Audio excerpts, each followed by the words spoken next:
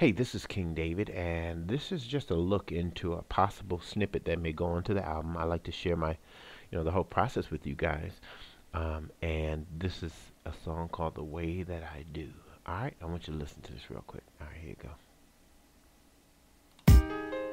From the moment that I met you, I knew that I would get you, girl. Not saying that I'm all that. Called you and you called right then. We had a real first date. I wanted you, I could not wait no, much no. longer. I can feel it getting stronger and stronger. Kissing all Baby, let me do the things that I let me do. Girl. Why you stopping me from loving you the way that I do? Oh yeah